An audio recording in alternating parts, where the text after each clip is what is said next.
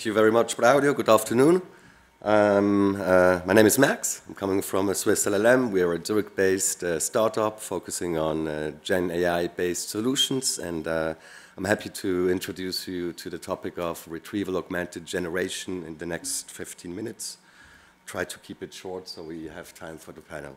So most of you uh, may know already what uh, large language models are. Uh, it's a technology that is behind uh, ChatGPT and other solutions you may have uh, tried out in your private maybe already. Large language models are trained with huge data sets, billions and billions of data points from the internet, text data, image data, audio data, uh, and in order to uh, really use a large language model, you have to fine tune it in order to uh, have it do some specific tasks like uh, information retrieval or instruction following or image detection, as we have seen in uh, the speech of my colleague uh, beforehand. You can compare this a little bit to the training of a dog, right? So each puppy goes to a dog school, he knows to sit, he knows to down, he knows to come, but as soon as you want to, your dog to do very specific tasks, like for example,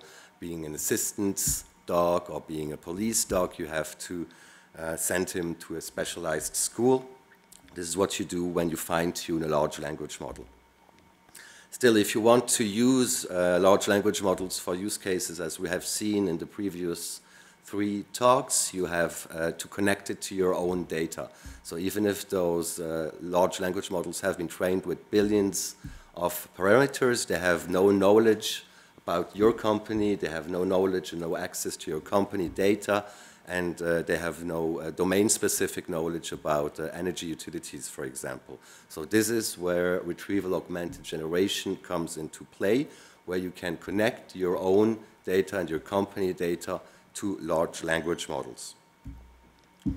So a retrieval augmented generation uh, process can look very simple. Maybe a few of you have already uh, tried it out, uh, created a few uh, pilot projects. So basically you take documents from your company and you ingest them into a vector data bank and then you do retrieval, meaning that you embed the query into the same vector database, and then you look for similar documents with uh, techniques like cosine similarity, for example, and then you send the query together with the uh, retrieved context that is based on your data to a large language model to perform specific tasks or to answer questions.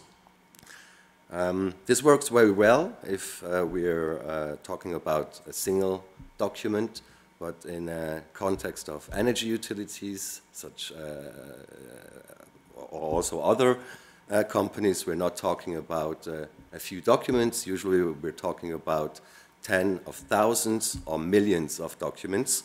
And uh, if you just take all those documents and you ingest them, like we have seen before, the outcome will not be very uh, relevant or useful.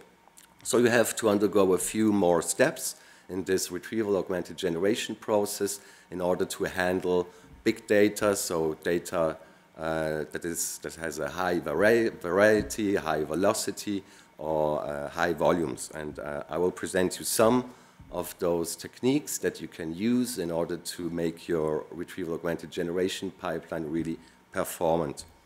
Let's start uh, at the beginning so before ingesting your documents, it's important, as uh, you may know in all uh, machine learning applications, to um, properly uh, parse and cleanse your documents. You should transform the different kind of formats and documents you're working with in a standardized format, such as, for example, a JSON format that is easily understandable and machine readable for a large language model. And then you can also augment your existing data. So augmenting data means that, for example, you take your documents and you create single facts out of your documents. So documents usually are very long, very complex. If you just send them to a large language model, even if they are very intelligent, the large, the large language model gets quite confused. So out of a long document, you should start and create uh, single propositions, single facts, and then you can, for each fact and proposition you have generated, generate hypothetical questions. So questions that could or can be uh, answered based on those facts. So you do this on one hand to augment the performance and quality of your retrieval process, but you can also use this data set of questions and facts in order to fine-tune the embedding model. So an embedding model is a machine learning model, is an algorithm that you use to create vectors out of different kind of format, data formats or texts that you then store, as we have previously seen, in a vector database. So if you fine-tune such an embedding model based on your own data, the embeddings have a much higher quality and the similarity within the vector space is much higher than if you just use an embedding model out of the box. Another uh, quite uh, interesting technique is uh, before you actually start the retrieval process, so before you search for relevant documents that you may send as context to your large language model, you can transfer, transform the queries. So the quality of an answer or the quality of an output depends very much on how you ask something. So some people are better at asking good questions. Other people have like uh, some difficulties or no time to ask a good question. So maybe in the context of energy utilities, if someone would ask, how can I decrease costs? The large language model would have quite difficulties even using your data and your documents in responding that question. So you can send this original question to a large language model to create transformed queries out of this question. So more specific questions, for example, such as how can I decrease operational costs, or how can I decrease uh, maintenance costs, or how can I decrease uh, integration costs for renewables.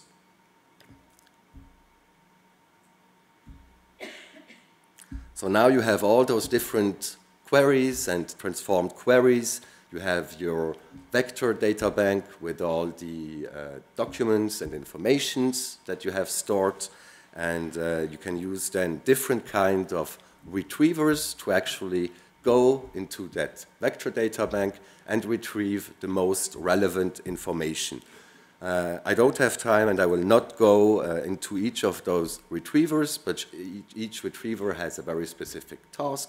So you have retrievers, for example, to uh, uh, query and retrieve uh, tabular data in SQL. In a SQL data bank, you have retrievers to access and search for information in a knowledge graph that may be stored in your vector data bank. And uh, you can use other retrievers, such as, such as a classical BM25 retriever, to um, to retrieve the most relevant documents. What you get out once you have gone through all those different retrievers is a big list of all the documents that you have ingested, indexed in your vector data bank that can or could be used to answer the query. This is still not enough because if you send such a huge amount of documents to a large language model, uh, it again has difficulties in responding the, the, the, the, the question.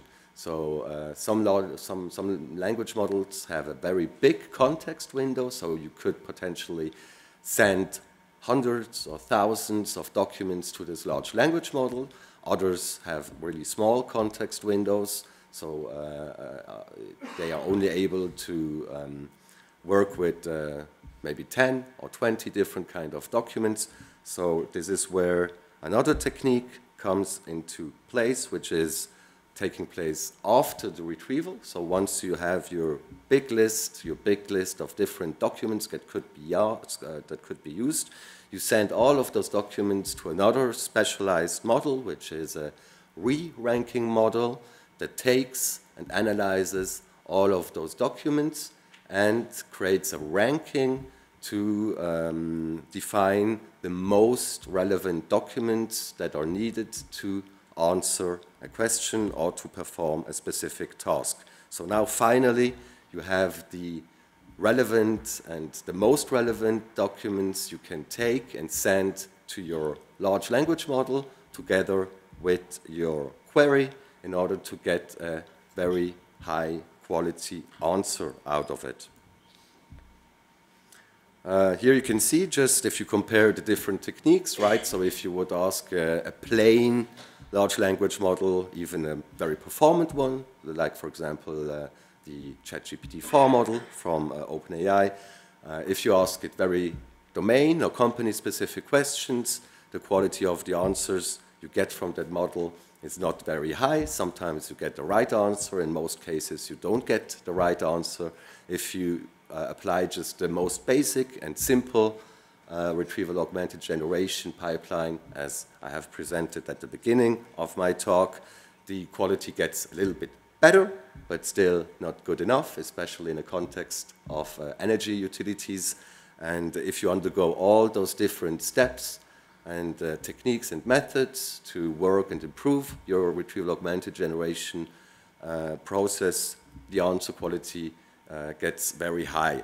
You may ask, how do we measure this? Uh, we measure this case by case. Basically, we are using a ground truth. So let's say a, a, data set, a, gold standard data set with uh, questions and perfect answers that we then compare to the outputs of the large language model. We use different metrics then to measure the quality of the output.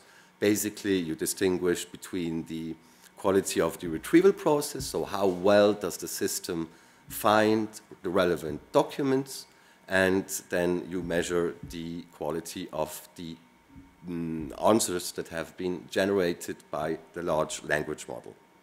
Now, what's the potential of all this for energy utilities? I'm not from the sector, so beg me pardon, but I still tried to um, uh, show you a little bit what's the, what, what, what's the power of such a retrieval augmented generation process. Basically, it's, uh, it gives you the possibility to, to make a lot of data usable that has not been uh, usable until now. So we're talking about very heterogeneous data that may lie in very uh, different data sources that has very different formats, such as uh, energy health, um, energy consumption reports or infrastructure health reports or even uh, geographical data, topological data from geographical information systems.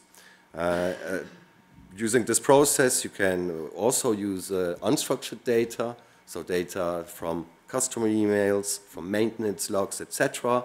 A very interesting topic is also the multimodality. So large language models can not only work with text, they can also work with uh, images, or audio logs.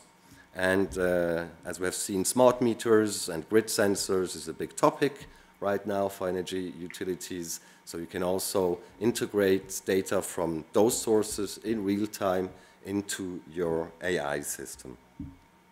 Some of, use, some of the use cases, the classical ones obviously is the, is, uh, the, the improved customer support, uh, where you can automate a lot of your customer service and communication.